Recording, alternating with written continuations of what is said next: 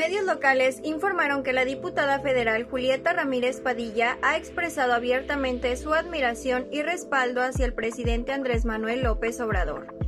Durante un evento oficial se difundió un video en redes sociales en donde se observa a la diputada entre simpatizantes esperando sonriente al mandatario mexicano.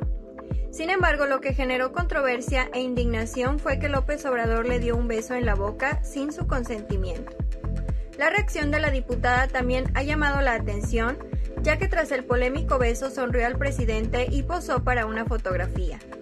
Este gesto ha dividido opiniones en redes sociales. Algunos internautas aplaudieron la cercanía entre el líder y su seguidora, mientras que otros criticaron el efusivo gesto y señalaron la falta de formalidad en eventos oficiales.